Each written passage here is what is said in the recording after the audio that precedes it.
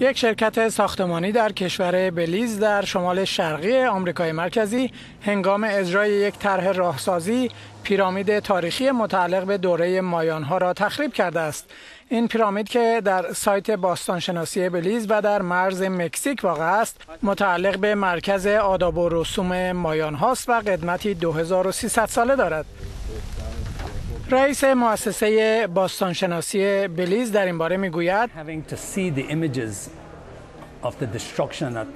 دیدن تصاویر مربوط به تخریب سایت باستانشناسی نومول از جهات مختلف یکی از بدترین ضربه است که من از جنبه فلسفی و حرفه‌ای احساس می کنم. زیرا آنچه اتفاق افتاده است هم اسفناک و هم غیرقابل بخشش است. دولت بلیز و وزارت جهانگردی این کشور شرکت ساختمانی مسئول این رویداد را تحت تعقیب قرار دادند. آنها می‌گویند مجموعه باستانی نومول شناخته شده است و نمی‌تواند از روی اشتباه بوده باشد.